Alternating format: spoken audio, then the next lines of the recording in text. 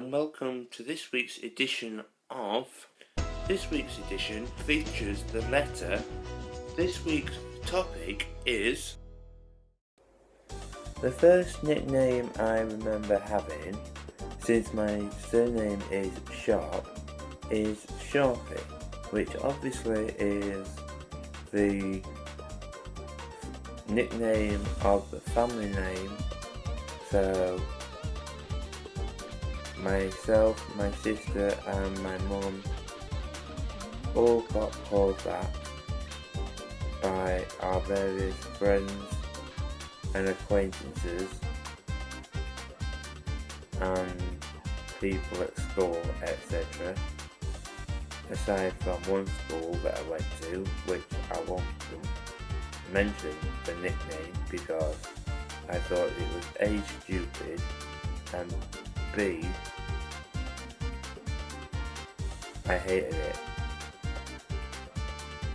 because it didn't make any sense and the explanation they gave for what they decided the nickname actually meant I also didn't like. But that's by the by.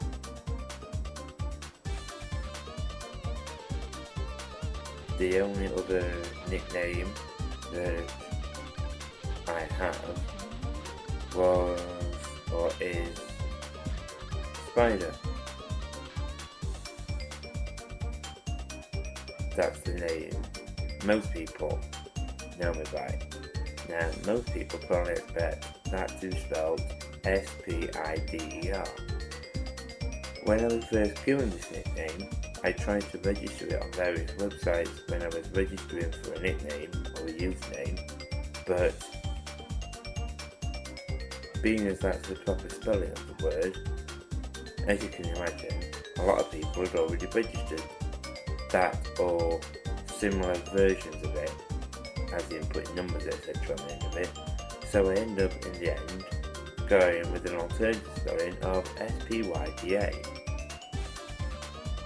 Um, so most of my accounts and stuff where people want to find me online can usually find me with that nickname with that spelling. I've also had other nicknames which have joined on to that, given to me for various reasons by various people. I have had a manager of the last nightclub, as I don't actually refer to the club place as a proper nightclub, the last proper nightclub I worked in, one of the managers decided to call me Pigeon for some strange reason, so I misspelt it on purpose and added it onto the end of my main nickname. Some DJs at a radio station also decided to call me the station's cat, so I, that became a nickname from the radio, one of the radio stations I used to listen to. I'm still occasionally listen to, but not very often. And I also use the name Prince joined on to some of my usernames instead as well now, on the basis of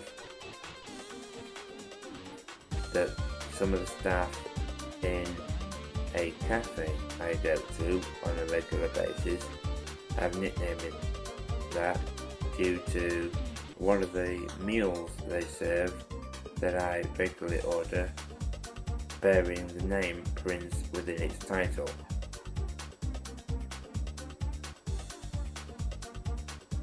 As that is all I can think of as regarding nicknames that I have or have had in the past. And that's the end of this week's video. Thank you. And come back next week for more.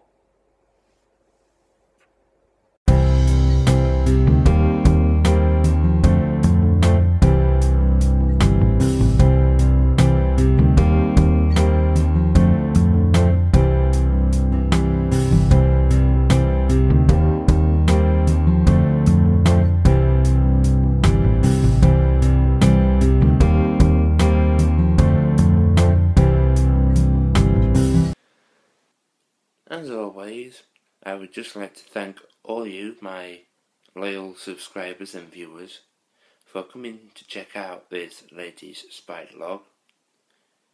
If you would like to comment, please do so below.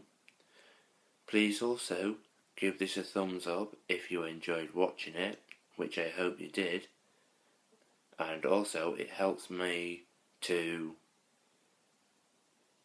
get promoted more on YouTube so I reach more people. Also, please feel free to share this on social network sites such as Facebook and Twitter. Until next time, keep smiling and goodbye.